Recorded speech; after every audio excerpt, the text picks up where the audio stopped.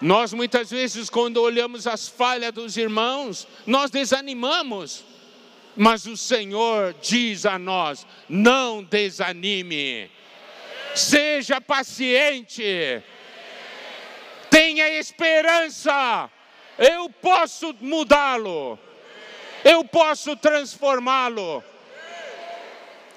E isso, amados irmãos, não é somente para os outros, é também para nós mesmos. Muitas vezes, ao olharmos nossas falhas, nós sentimos: eu não tenho jeito, eu vou desistir. Não!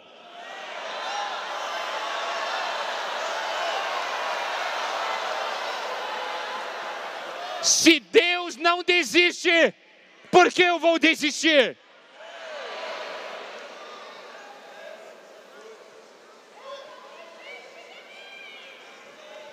Pensa naquele irmão que você não gosta, que na outra vez já falamos. Pensa naquele irmão que você não gosta. Deus desistiu desse irmão?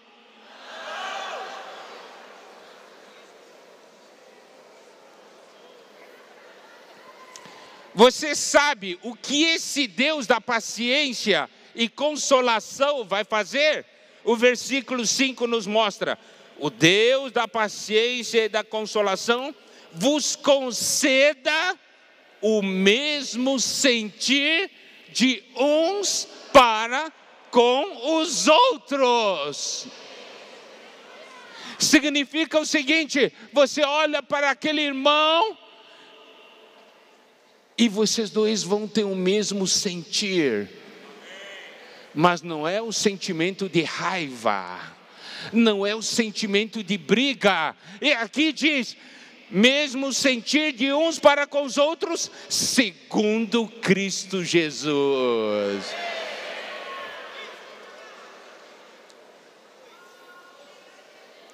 Significa que é possível você e aquele irmão que são inimigos terem o mesmo sentir de uns para com os outros, segundo Cristo Jesus. E que sentir é esse? Amor, não é?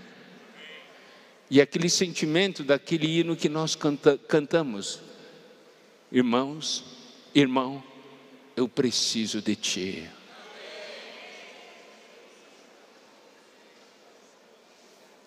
Você crê nisso? Eu odiava aquele irmão, mas agora eu amo esse irmão e eu tenho um sentimento, eu preciso dele. Porque Deus precisa dele.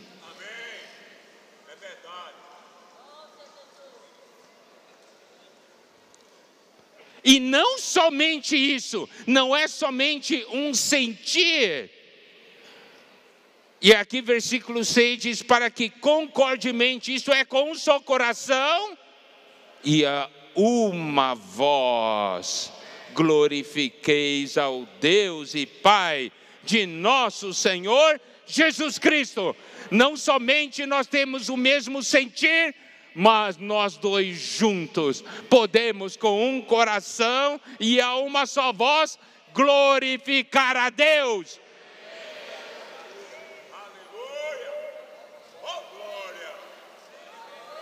Nesse instante, Satanás é posto na vergonha. Nesse instante, Satanás está debaixo dos pés. Tá certo? porque ele fez tanto para dividir. Fez tanto para você desistir do irmão, fez tanto para separar. Mas esse Deus, que é o Deus da paciência e da consolação, essa palavra de Deus, que é uma palavra da paciência e de consolação, que nos dá esperança, vai produzir algo maravilhoso, o mesmo sentir. Imagine, amados irmãos e irmãs, cinco, seis mil pessoas aqui, mesmo sentir de uns para com os outros. um só coração e a uma só voz glorificar a Deus. Vamos falar juntos, glória a Deus? Vamos lá, glória a Deus, glória a Deus.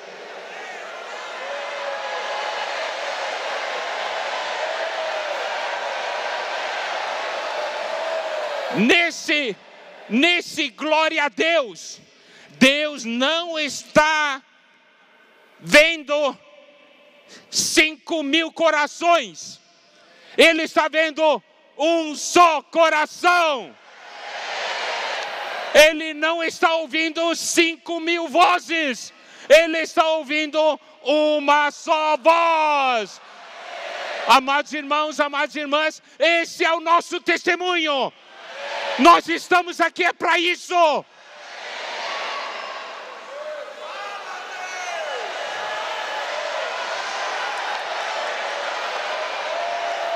Mesmo falar, mesmo sentir, mesmo coração, mesma voz. Isso é glória para Deus e Pai de nosso Senhor Jesus Cristo.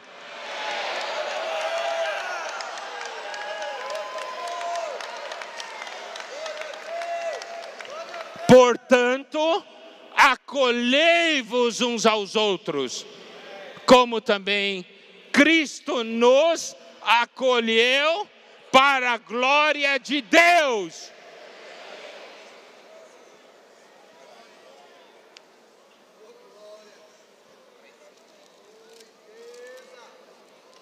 Romanos 14, 3, na parte final diz: Deus o acolheu.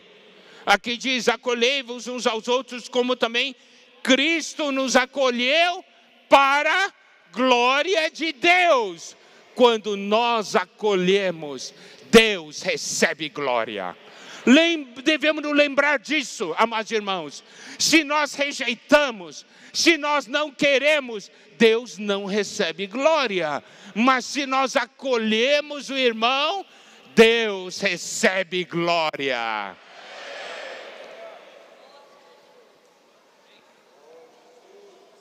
Imagina você acolhendo esse irmão que você detesta.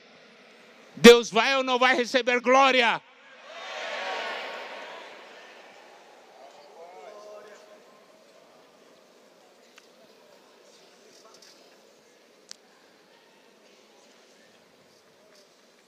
Como nós falamos, na igreja em Roma havia judeus e havia gentios. E o versículo 8 e 9 nos mostra algo maravilhoso. Diz que Cristo foi constituído ministro da circuncisão em prol da verdade de Deus para confirmar as promessas feitas aos nossos pais. Então, o nosso Senhor Jesus, a obra dele, como ministro da circuncisão, foi em prol da verdade de Deus para confirmar as promessas Significa que quando a salvação chega ao judeu, qual é o sentimento do judeu? Deus cumpriu a promessa de me salvar. Tá certo? Mas nós somos gentios. Graças a Deus que não termina no versículo 8. Nós temos o versículo 9 aqui que diz: e para que os gentios glorifiquem a Deus por causa da sua misericórdia. O judeu vai dar glória a Deus porque Deus cumpriu a promessa, mas nós vamos dar a glória a Deus por causa da sua misericórdia.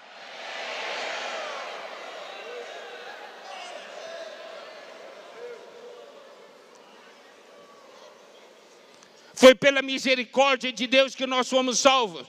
E olha só o resultado disso no meio dos gentios.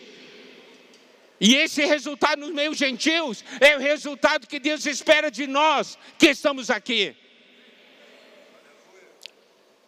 Como está escrito no versículo 9: Por isso eu te glorificarei entre os gentios e cantarei louvores ao teu nome.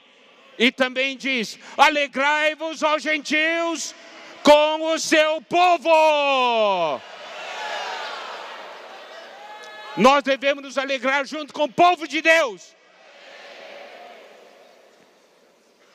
E ainda, louvai ao Senhor, vós todos os gentios e todos os povos o louvem.